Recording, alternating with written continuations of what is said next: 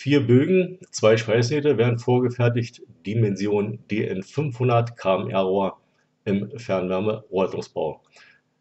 Wir nutzen mal die Chance, um das hier auf der Straße vorfertigen zu können. Ihr seht, die Schweißnähte sind soweit vorbereitet, alles exakt vorgerichtet und Ali und ich werden dann im Nachhinein diese Nähte schweißen. Jetzt mal ein paar Eindrücke und Augenblicke, die ihr bekommt, wie man an die Sache rangehen kann. Ali hat schon mal angefangen, ihr seht's, unten liegt da im Freihandstil. Wir haben natürlich im Vorfeld die Wurzel schon geschweißt und schon eine Sicherheitslage. Ja, im Wurzelbereich, da liegen wir so zwischen 3,5 und 4,5 mm Schweißluft. Das ist in Ordnung und wir verwenden für den Wurzelbereich 3 mm Schweißdraht, nur mal um Parameter zu nennen, circa zwischen 105 und 120 Ampere. Die Einstellungen liegen bei 16 Liter Minimum bis 25 Liter pro Minute. Kommt darauf an, wie die Gegebenheiten und die Umstände und die Windverhältnisse sind. Aber wir haben einen schönen Tag, wie man sehen kann. Alles recht ruhig. Von daher liegen wir da so zwischen 16, 18, 20 Liter pro Minute, je nachdem.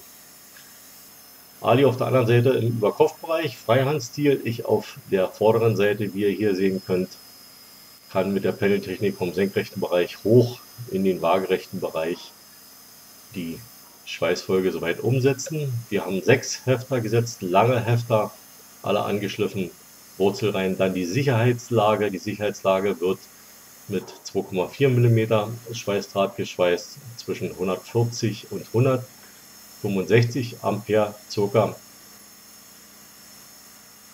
Es folgen dann weitere Lagen. Die nächste Lage im Nachhinein 2,4 mm Schweißdraht haben wir geschlossen bei ca. 165 bis 180 Ampere und die letzte Zwischenlage wird mit 3 mm Schweißdraht geschweißt in der gleichen Amperezahl, ungefähr 170, 165 bis 180 Ampere. Ja, die Umstände sind ganz gut, wie man sehen kann. Wir können uns das da so einigermaßen gut gestalten, auch von der Körperhaltung her. Ja, so eine 500er Naht ist ja nicht ganz ohne, da möchtest du schon ein bisschen Ausdauer haben und entsprechende Erfahrung im Vorfeld. Wir haben beide unsere Erfahrungen. Ali ist auch schon seit vielen Jahren im Ordnungsbau als Wegschweißer unterwegs.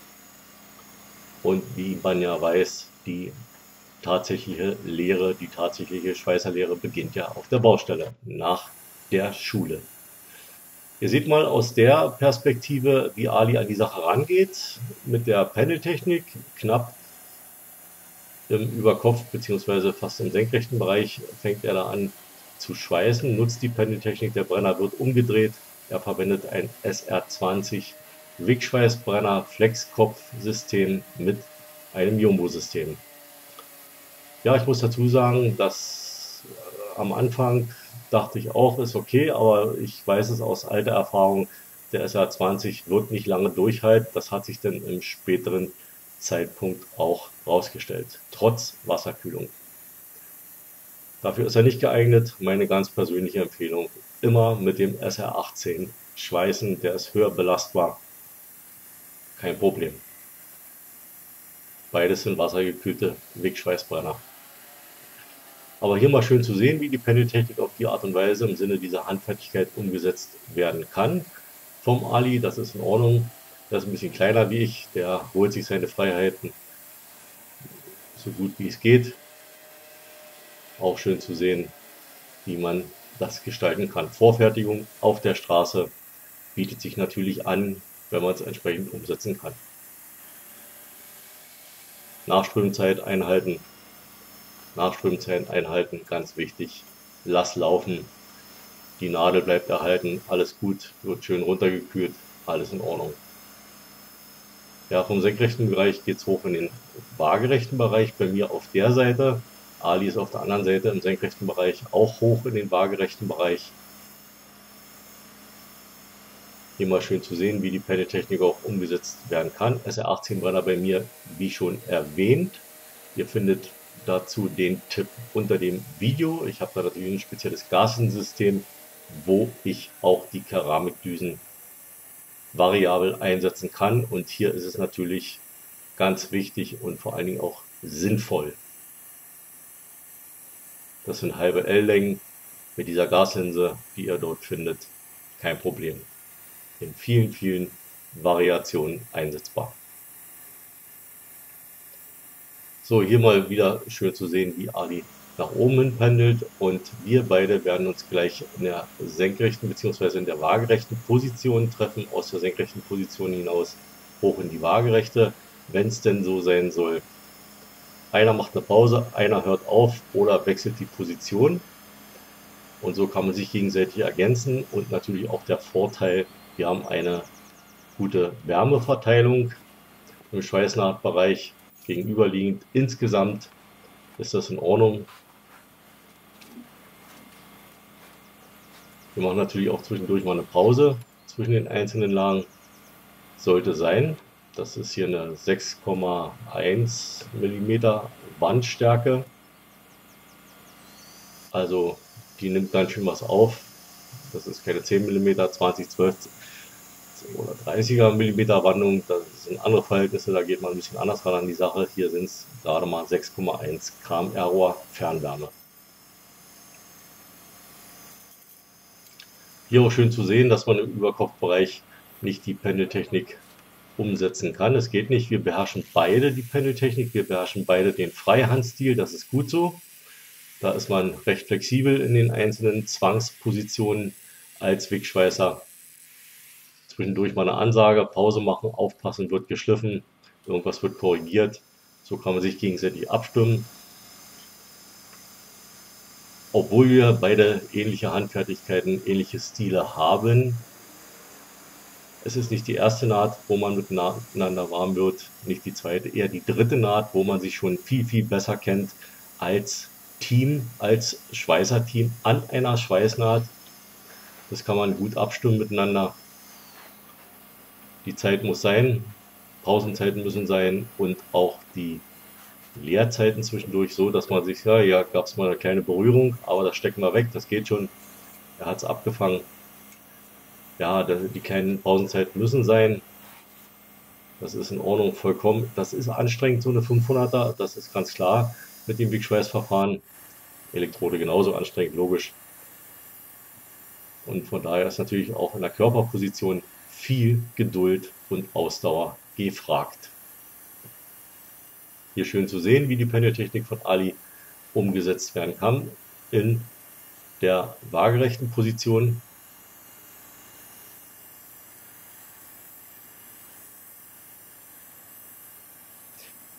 Ja, das sieht ganz gut aus mit dem SR20 Brenner Flexkopf, aber wie schon erwähnt, man stößt irgendwann an Grenzen und das Ergebnis kam dann später mal, er ging kaputt.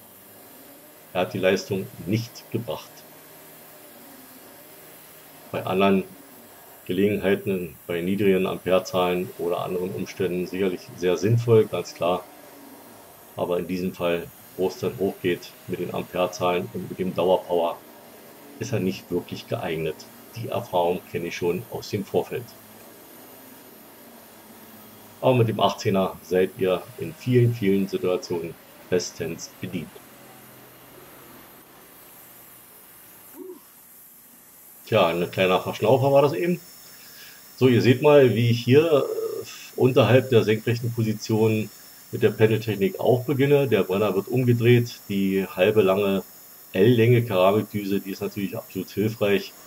So oder so ist egal, wie ich die Brenner drehe, so rum oder so rum, spielt keine Rolle. Ich habe genug Bewegungsfreiheiten in der Pendeltechnik, kann das natürlich wunderbar nutzen, das Spiel. Und alles in Ordnung. Wasserkühlung muss sein. Also ohne Wasserkühlung, wer hier mit der luftgekühlte Schweißtechnik rangeht, der ist selber schuld. Das ist komplett falsch. Die hohe Literzahl im Argon-Bereich ist auch wichtig. Wir sind ja draußen im Freien und Argon hat ja auch eine kühlende Wirkung. Das darf man nicht vergessen. Ne?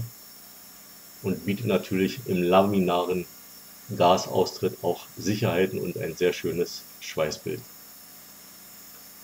Ja, unsere Nähte sind geprüft worden, die sind alle geröntgt worden und letztendlich hat sich bewiesen, die Handfertigkeit ist in Ordnung, der Stil ist in Ordnung, die Vorgehensweise passt. Also das Gesamtbild der Röntgenergebnisse kann man ohne weiteres abliefern.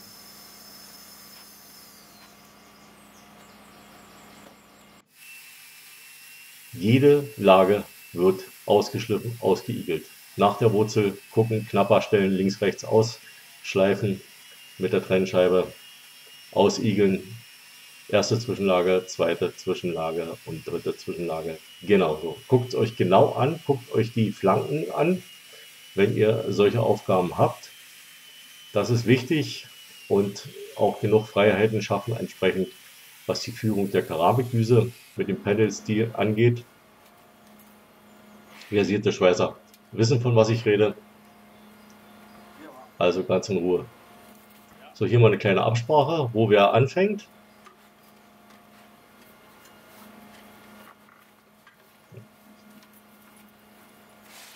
Oder eben halt auch, wo wir letztendlich enden. Ich gehe jetzt mal in den Überkopfbereich.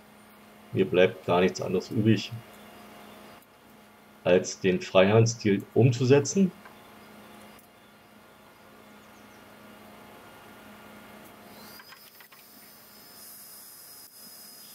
Ali beginnt mit der Pendeltechnik unterhalb der 9 Uhr bzw. 15 Uhr Position den Brenner umgedreht und die Pendeltechnik nach oben geführt. Soweit wie es geht, solange die Hand mitspielt und das Handgelenk. Ist eine anstrengende Sache, kann ich euch versichern. So oder so. Schön zu sehen. Die einzelnen Wechselpositionen, die Körperhaltung wie man es machen kann an so einem 500er Rohr. Wir haben uns da eingeschossen auf das Ganze, das ist auch gut so. Ähnliche Stile, ähnliche Handfertigkeiten, gute Absprachen. Big Schweißer Team in dem Fall funktioniert bestens. Waagerechte Position oben ist für beide anstrengend. Klar, wir müssen uns ein bisschen strecken. Das ist eine Frage der Körperhaltung und der Ausdauer auf natürlich, klar. Ali ist ein bisschen kleiner wie ich, so oder so, anstrengend. Ja, in Berlin habe ich jahrelang Tausender geschweißt, also da haben wir viel mit Elektrode geschweißt. Ich weiß schon an der Stelle, dass man eben wirklich zwischendurch mal eine Pause machen sollte.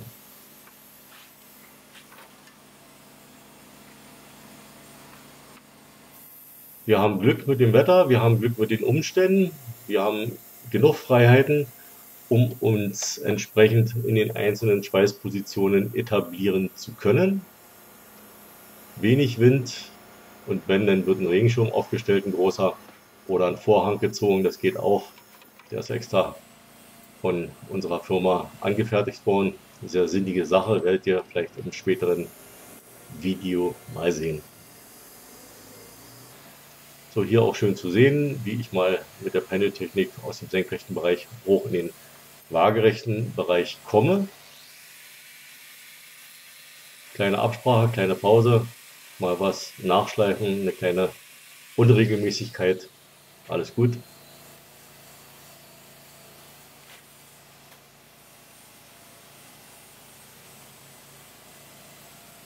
Und weiter geht's mit der Pendeltechnik. Ihr seht, SR18, dieses Grashinnensystem, diese Keramikdüsen, bestens geeignet. Dauerpower, hohe Belastung, kein Problem, überhaupt nicht.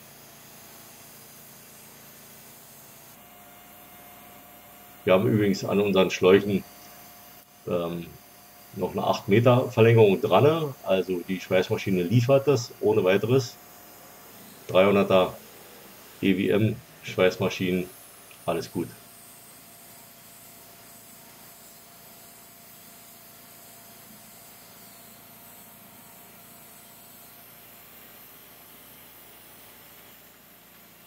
Tja, jetzt warte ich eigentlich, dass ich seinen Arm nicht berühre beim Draht rausziehen, aber das dauert mir zu lange. Okay, dann machen wir es halt so rum. Wenn ich jetzt weitergezogen hätte, hätte ich ihn berührt an der Hand und das ist natürlich auch nicht gut. Er kommt aus dem Takt raus oder gibt einen kleinen Schreck, muss nicht sein. Ihr seht, ich unten, Freihandstil, geht nicht anders. Aber ganz gut so. Ali korrigiert mal ein bisschen was mit der Fächerscheibe.